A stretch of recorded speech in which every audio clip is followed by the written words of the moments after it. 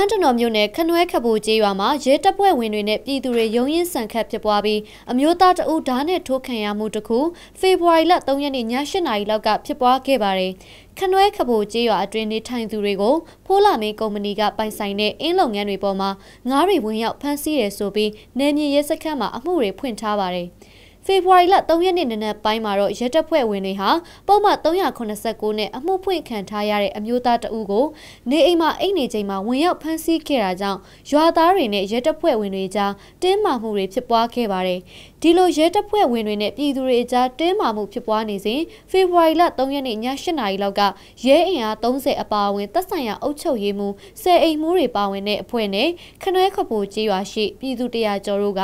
ကျေးရွာအတွင်းဖျားနှစုရှိရာတာပေါင်ရိုးပေါ်မှာရုံးရင်းဆန်ခတ်ဖြစ်ပွားခဲ့တယ်လို့သိရပါတယ်။ဒီလိုဖြစ်ပွားရမှာတစ်ဖက်နဲ့တစ်ဖက်အပြန်အလှန်ရိုက်နှက်မှုတွေပါဖြစ်ပွားခဲ့ကကျေးရွာမှာလာရောက်လည်ပတ်နေတဲ့အမျိုးသားတဦးဓာတ်နဲ့ထိုးခံခဲ့ရတာဖြစ်ပါတယ်။ဖြစ်စဉ်နဲ့ပတ်သက်ပြီးဓာတ်ထိုးခံရသူနဲ့ဒေသခံအချို့ကအခုလိုပြောပါတယ်။ကျွန်တော်ကခဏဘောကကျွန်တော်အမအိမ်အလဲဝါနေတာဟုတ်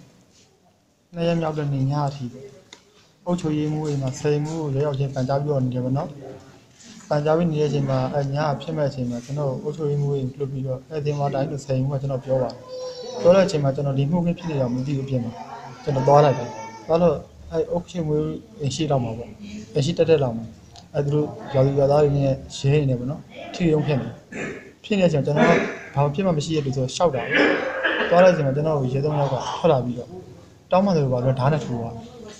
အဲ့ဒါအခုဒါနဲ့ထူတဲ့သူတွေကရဲဝတ်စုံဝတ်ထားကြတယ်ဝက်ထားကြတယ်ကိုတိချမြင်လားသေချာမြင်တယ်ဟိုဟိုလင်းအောင်မတိချမြင်တော့မမမောင်မဲနေတာအဲ့ချိန်မှာမမမအောင်သူတို့ထွက်လာတဲ့အချိန်ကပတ်ဝန်းကျင်ကဘေးကမီးတွေဖြန်းလာတာသူတို့ရုပ်ကိုမသေးဘူးယူနီဖောင်းဝတ်ထားတာတော့အမှန်ပဲရဲဒီတာရဲထိုးတာရဲထိုးတာဟိုစားအခုကဒီဖြစ်စင်မှာပေါ့နော်ဟုတ်ကဲ့ပါအခုကဒီဖြစ်စင်မှာဒီရွာသားကြီးကိုကဒီပြိပခဖြစ်တဲ့လူလားတောင်အပြင်းလူလားကျွန်တော်အပြင်ဧည့်သည်ခင်ဗျဟုတ်တယ်ကျွန်တော်နေရတော်တရမှာအမတီသွားလဲနေဖြစ်ကြတာဟော ကိုဒီပြဿနာဘာမှမဆိုင်ဘာမှမဆိုင်အခုကိုဒါနဲ့ထုတ်ကန်ဘယ်နေရာမှာထိုင်ရမှာဘူးဒီဘယ်ဘက်ဂျိုင်းရောက်ပေါ့ဖိုးလာမီကုမ္ပဏီလေကုမ္ပဏီမှာငါးခုလို့တဲ့ဆိုပြီးတော့သူတို့ဝဒန်းထုတ်ထားတယ်ဆိုပြီးတော့မနစ်ကထုတ်ထားတာတဲ့အဲ့ဒါကိုအခုမှလာဖမ်းပြီးတော့လာပြီးတော့သူက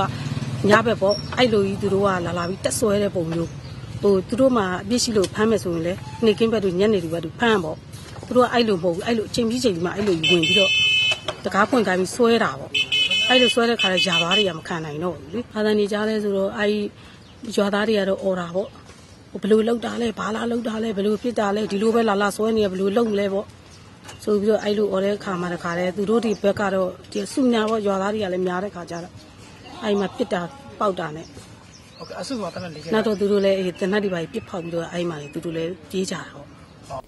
ဓာတ်နဲ့ထိုးခံရသူအမျိုးသားဟာဘယ်ဘက်ဂျိုင်အောက်ထိုးသွင်းတန်ရာရရှိခဲ့ပြီးလက်ရှိမှာတော့ပန်းတနော်မြို့နယ်စေယုံမှာစေကူတမှုခံယူနေရပါတယ်။ဖြစ်ပွားခဲ့တဲ့အခြေအနေပေါ်ခနွဲခဘိုကျေးရွာနယ်မြေရဲစခန်းကရဲအုပ်စန်းယူနိုင်ကလည်းအခုလိုပြောပါတယ်။ရွာသားတွေဘက်ကပြောတော့ဆရာတို့ဘက်ကဒီရဲတပ်ဖွဲ့ဝင်တွေပေါ့နော်ဒီရွာကြီးရွာတွေညဘက်တွေမှာပေါ့နော်ဒီအသက်လို့ကိုအသက်မပြည့်တဲ့ကလေးငယ်တွေပဲပါဝင်မှာတရားစွဲရတယ်လည်းရှိတယ်တဲ့ပြီးတော့အဲ့လိုညဘက်တွေမှာရွာလေးကိုဝင်ပြီးတော့ ဒီဖမ်းတာစီးတယ်လုပ်တယ်ပေါ့နော် အဲ့ဒါလည်းကျွန်တော်ပဲကျွန်တော်ပြောတာ2ယောက်တနည်းအောင်2ယောက်ဖမ်းတာ ဟုတ်ကဲ့ အဲပြူးမဆိုင်ပုံက3ခုခုနဲ့ဖွင့်တာ 3ခုခုနဲ့ဖွင့်တာ 3ခုခု3ခုခု 3ခုခုနဲ့ 3ခုခုသွားအင်းเจ้าနေတယ်မှာဝင်ခိုးငါးဝင်ဂျူဆောင်တာကိုခိုးမှုနဲ့ဖွင့်တာပေါ့ဗျာ3ခုခုဆိုတော့နော် အဲ့3ခုခုနဲ့ဖွင့်တဲ့တော့ဆရာကညဘက်တွေတော့ဖမ်းတာ ညဘက်တစ်ခါတစ်ချိန်ပဲဖွင့်ထားတာ3လေးမှုရှိပြီတမှုတရားကန်4 5ယောက်4 5ယောက်ရှိတယ်ထိန်းเจ้าထိန်းเจ้าမရတဲ့ဆုံးဒါဒါကြီးရောအာနာပိုင်ပေါ်စီနဲ့တိုင်ပြီးဒီမှာကတယောက်နှစ်ယောက်တော့နမူနာပညာပြီးဖမ်းမှဖြစ်မယ်ဆိုပြီးတော့ဒါကျွန်တော်တို့တယောက်ဝေဆောင်ဝေးရဆောင်ရွက်နေတဲ့ ရက်ကာလမှာဒါကျွန်တော်နှစ်ယောက်ကိုတော့ဖမ်းဆီးပြီးတော့ဥပဒေတိုင်းပေါ့ဗျာနော်ပန်းတော်စကမ်းပို့ပြီးတော့ဒါယမန်ယူထားတာပေါ့ယမန်စီးတဲ့ချိန်ရုံးတော်တရားဆွဲတင်မယ်ဘယ်ရက်ကဖမ်းလိုက်တယ်သူအဲအဲ့ဒါက3ရက်နေ့မနေ့ပေါ့ကျွန်တော်တို့မနေ့ဟောတော့ဖမ်းတာပေါ့4နာရီပေါ့မနေ့ဟောအဲ့လိုဖမ်းတဲ့အချိန်မှာပြောစားတိုင်းပြိပခါဖြစ်တာမဖြစ်ဘူးမဖြစ်ဘူးမဖြစ်သေးဘူးပေါ့အဲ့ဒါအဲ့နေ့ဟုတ်ကဲ့အဲ့နေ့မနေ့4နာရီအဲ့နေ့ည8နာရီမှာကြည့်ရအုပ်ချုပ်မှုတွေကရွာထဲမှာ7နာရီခွဲလောက်မှာဒါအတိုင်းပဲလမ်းလျှောက်ပြီးလှည့်ကင်းလေးပဲလုပ်ပေးမယ်တော့ ကျွန်တော်တို့ဒါပေါ့ဗျာ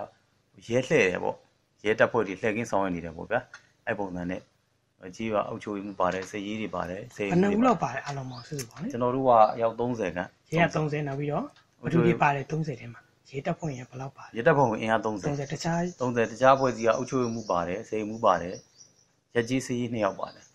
သူတို့တွေနဲ့ဆရာတို့လက်ကင်းဆောင်နေတယ် အဲ့လိုဖြစ်နေမှာရွာသားတွေနဲ့ပြိပကဖြစ်ကြတယ်လို့ကျွန်တော်အဲ့နာကနေအဲအဲ့လိုဖြစ်သွားတဲ့အချိန်မှာကျွန်တော်တို့ကတော့မသိဘူးပေါ့ဗျာသဘောရိုးနဲ့ပဲဒီတိုင်းသွားတာပေါ့တစ်ဖက်တော့မကြည်သေးပါဘူးထိတ်ရောက်ပြီးပြန်ထိတ်ရောက်မရှိသေးတယ်တခုတခုတခုဆိုပြီးတော့ဟိုတံပုံးတွေတီးပြီးတော့မှခါတယ်အော်ဟိပြီးညာတံပြီးတွေ့တက်ကြလာနေတာမဟုတ်သူတို့ဘက်ကတခိုးတခိုးဆိုအော်အော်ဟိတ်ပြီးအဲ့လိုတက်ကြတယ်ဘူးတက်ကြလာရောသားတရားကျော်လောက်ရှိတာပေါ့အဲ့ကြတော့သူတို့မှဒုတ်တွေပါတယ်ဂဲလုံးတွေနဲ့ပြစ်တယ်လေးဝါတွေနဲ့ပြစ်တယ် အဲ့လိုပြစ်တော့ကျွန်တော်ကဆုတ်ဆုတ်ဆုတ်လာတော့မဟုတ်ဘူးအဲ့ဒါပဲပြစ်ပါဆုတ်ဆုတ်ဆုတ်နဲ့ဆုတ်လာပြီးတော့မှနောက်ဆုံးဒီအဝနောက်မှဒဏ်ရာလည်းတရားတစ်ဖက်ဝင်နေရလာတော့အဲ့ဒါတစ်ချက်ဖောက်ပြီးတော့မှမနေ့ကပြန်ဆုတ်လာဆရာညအရန်ကတ်လာပြီကိုကအဲ့လိုမှ6လမ်းပြီးတာ6လမ်းပြစ်ခတ်တယ်လို့ခေါ်တယ်ကျွန်တော်လူလူတဲ့အုပ်ထဲကိုပြစ်တာမဟုတ်6လမ်းပြစ်ခတ်လူစုကိုပွဲအောင်6လမ်းပြစ်ခတ်ပြီးတာအဲချစ်နောက်တစ်ခါကျွန်တော်တို့ကဘာမှပြန်တန်ပြန်လုပ်ချင်မရဘူး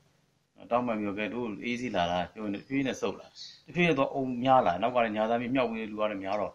လူတရာကျော်လောက်ဗျာဘလို့လို့ဟွာပြင်တယ်ကျွန်တော်တို့ရဲမှာတော့ဓာတ်မပါပါဘူးဓာတ်လည်းမပါပါဘူးတကူးကြည့်တယ်အဲ့မှာတို့အချင်းချင်းလုံးထွေးတဲ့အချိန်မှာတော့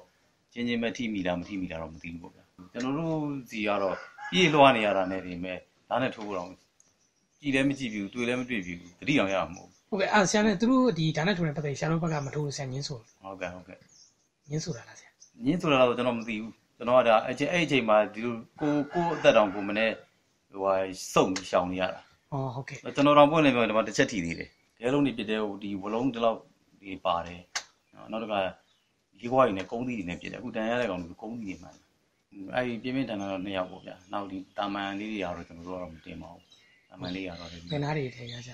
အဲဒီရုပ်ရိုက်တာတော့ဒီလက်တို့ကြောတို့ခြေထောက်တို့မျိုးစုံပေါ့ရိုက်မိတာတော့ ခနွဲခဖို့ကျေးရွာနယ်မြေရဲစခန်းကတာဝန်ရှိရဲရာရှိကအခုလိုတနက်ကိုမိုးပေါ်တစ်ချက်ထောင်ပစ်တယ်လို့ဆိုပေမဲ့ရွာသားတွေနဲ့အခင်းဖြစ်စဉ်ကိုမျက်မြင်တွေ့ရှိသူတွေကတနက်သုံးချက်ပစ်ပေါက်တယ်လို့ဆိုကြပါတယ်ခနွဲခဖို့ကျေးရွာရှိပြည်သူတွေနဲ့အဆိုပါကျေးရွာအနီးအင်းလုပ်ငန်းလုပ်ကိုင်နေကြတဲ့ဖိုးလာမေးကုမ္ပဏီတို့မှာ2013ခုနှစ်ကစတင်ပြီးလေယာမြေတွေအင်းလုပ်ငန်းတွေနဲ့ပတ်သက်ကအပြန်အလှန်တရားစွဲဆိုမှုတွေရှိခဲ့ပါတယ်ကုမ္ပဏီရဲ့တရားစွဲဆိုမှုကြောင့်ရွာသားအချို့ထောင်ချခံရမှုတွေလည်းရှိခဲ့ကအခု2016ခုနှစ်အတွင်းမှာပဲကုမ္ပဏီကနေရွာသားတွေကိုတရားစွဲဆိုမှု15ကြိမ်ထိရှိနေတယ်လို့သိရပါတယ်။